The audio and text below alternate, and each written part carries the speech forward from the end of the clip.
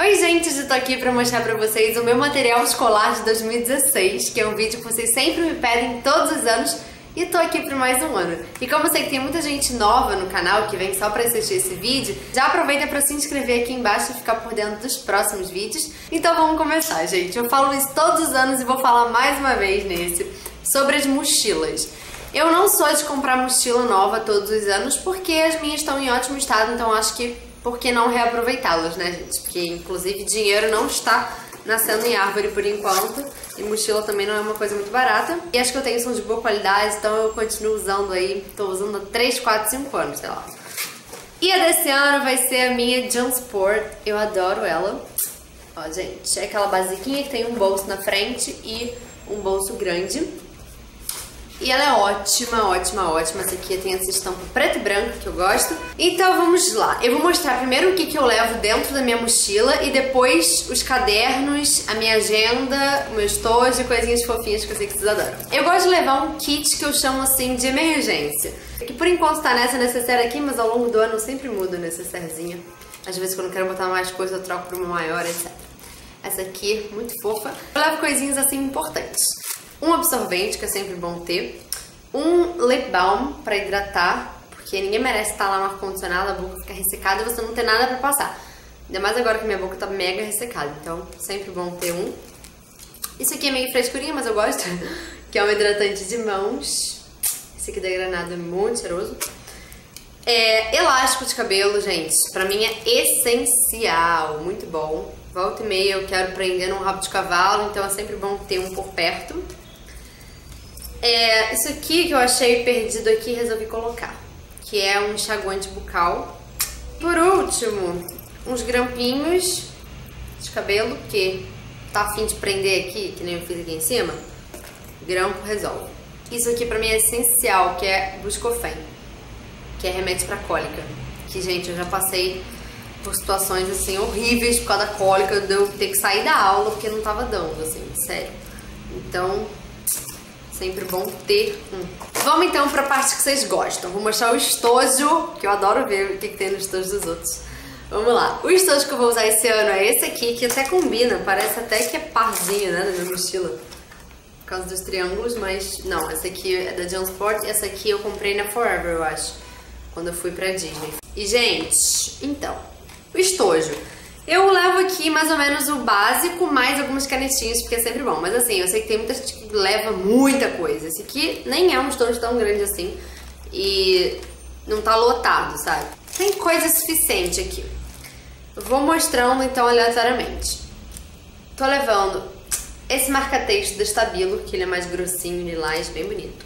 Canetinhas Stabilo, vou separar logo as que eu tenho aqui. Por enquanto tenho três. Eu amo essas canetas, são muito boas pra sublinhar, pra escrever coloridinho, pra ficar bonitinho, fazer um resumo bonito, sabe? Adoro, adoro, adoro. Tenho essa aqui verde água, roxo e rosa. Eu tenho um kit dessas canetas aqui da Crayola, mas eu tô levando só essa laranja aqui. Porque senão fica muita coisa também, né? Levo esse apontadorzinho aqui, ó, que tem caixinha. Gente, a melhor coisa é apontador com caixinha. Às vezes o que não tem caixa, a ponta tá melhor, né? Mas a preguiça de levantar e até o lixo apontar o lápis, não dá. Prefiro ter de caixinha, mais prático. É, uma tesoura, sempre bom, né, gente? Grafite, porque eu uso lapiseira. E eu, eu uso lápis também, mas eu gosto muito dessa lapiseira aqui da Pentel. Que ela é 07. Eu adoro 07. Então eu levo aqui um grafite. Lápis eu tenho vários aqui, porque é sempre bom, né, gente? Às vezes a lapiseira tá sem grafite, você tem que anotar um negócio rápido, aí não dá tempo de colocar o grafite, tem o lápis. Então, enfim, ó, tem vários aqui. Sempre tem alguém que faz emprestado também, então sempre bom ter. Isso aqui é muito legal, minha mãe me deu, que é um lápis, ó, que tem uma tampa e que aqui em cima vem com um apontador. Muito prático, gente. Adorei. Liquid paper, não vivo sem. Eu sei que tem muita gente que não gosta, mas eu adoro, gente. Porque volta e meia eu erro alguma coisa e eu não gosto de riscar, eu gosto de passar o liquid paper. Mas eu perdi a tampa desse aqui. Então, que bom que tá no fim, mas enfim. Adoro. E esses canetas são ótimos. Duram bastante. Caneta. basiquinha mesmo, assim, preta e azul. Essa aqui é azul. Eu amei essa caneta. Eu comprei lá na Alemanha, cara, porque eu não comprei mais. Ela é muito boa. Vocês encontrarem aqui, comprem, que é boa demais. É muito macia de escrever. Tá, tem essas duas aqui, que a embalagem é branquinha, mas elas são azuis. Essa aqui também é azul. E essa aqui é preta, bique normal. E uma borracha, que né, gente? Sempre bom. Tem também isso aqui, gente, que é muito fofo. É o marca-texto em formato de estrelinha, que cada ponto é uma cor. Então, ó, você abre aqui, tem o marca-textozinho. É muito fofo. Não é muito prático por causa do tamanho que não cabe no estojo, mas é fofo, então vale a pena levar. E até porque são cinco cores em um só negocinho. Isso aqui eu não levo pra escola, mas eu deixo em casa, então falei, ah, vou mostrar porque é fofo, né? Porque às vezes você tá estudando aqui em casa, você quer uma coisa mais bonitinha, mais coloridinha, então eu tenho essas canetinhas aqui da Sharpie, que são muito boas. O problema é que elas são permanentes, então se você não tomar cuidado, mancha a folha atrás, sabe? Elas são muito fortes. Mas enfim, gente, tem várias pequenininhas aqui, ó. Dessas assim, que dá até pra botar no chaveiro. E eu tenho outras cores lá também. Isso aqui é muito fofo. Meu pai me deu quando ele foi pra Nova York há muito tempo. Eu nunca tive coragem de usar. Ele comprou no mall, mas... É muito lindo, né? São borrachinhas, acredita? Mas eu não tenho coragem de usar, mas eu quis mostrar porque eu acho tão fofo. Na verdade, isso aqui é um jogo. Chama Animal Balance. Ó, tá vendo o desenho aqui embaixo? É pra você montar e ele tem que se equilibrar. Enfim, é fofo. Mas são borrachas. Mas acho que eu não vou usar como borracha, não. Quis só mostrar pra vocês porque eu achei fofo. Tem também essa pasta aqui de envelopinhos plásticos. Eu acho legal pra dar uma organizada, gente. Eu até tenho uma pasta que eu mostrei no passado que eu adoro. Vou deixar o vídeo aqui pra vocês assistirem, se vocês ainda não viram. Que é, são aquelas pastas sanfonadas, sabe? Que tem, tipo, que você consegue separar por matéria. Eu não trouxe pra mostrar aqui pra vocês porque ela tá cheia de folha, porque eu organizei por matéria. Eu vou pro terceiro ano agora, então eu fiz uma seleção de todas as minhas folhas do nono ao segundo ano que eu acho que são importantes pra eu estudar ao longo desse ano. Tipo, folha de resumo, etc. Então eu coloquei por matéria. Então é uma pasta, tipo, desse tamanho. Tem muita coisa ali. Então, falei, ah, não vou nem trazer pra mostrar porque, pra quê, né? Então é isso, mas ela é muito boa. Aí, gente, a minha agenda, que quem viu o vídeo de Do It Yourself já sabe fazer uma agenda igual essa. Se você ainda não viu, link aqui do lado.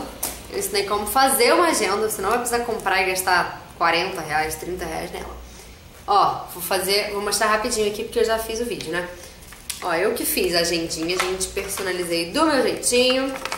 Já até anotei coisas aqui. Muito legal ter uma coisa totalmente personalizada. Agora vamos para os cadernos, então. Eu trouxe três para mostrar para vocês, porque eu compro caderninho barato mesmo, daqueles de 3 reais, 5 reais no máximo. Eu não ligo muito para caderno, na verdade eu até prefiro esses assim de folha branca, branca, branca, sem ter desenho e coraçãozinho e folha colorida, rosa, eu detesto. Eu gosto de folha assim, sabe? Pra, pra conseguir realmente fazer do meu jeitinho e não ficar aquela coisa enjoativa, porque eu acho que folha colorida vai me enjoar ao longo do ano. Então, enfim, essa, esses aqui são ótimos super baratos. E eu adorei esse aqui, ó, com salto alto, lindo. Eu comprei dois cadernos desses maiores, de 200 folhas, que diz aqui que é pra 10 matérias. Isso aqui, não, né? Eu uso pra 5.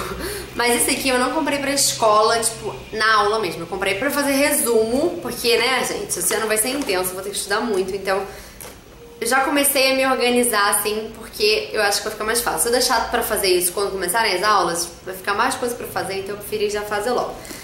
Tá, então eu comprei esses dois aqui na loja americana, eles custaram 12 reais cada um, por aí, porque é mais grosso. Eu nem lembro quanto foi, na verdade. E aí, olha o que, que eu fiz. Eu já separei aqui por matéria. Não sei se tá dando pra vocês lerem. Biologia, física, química, tá?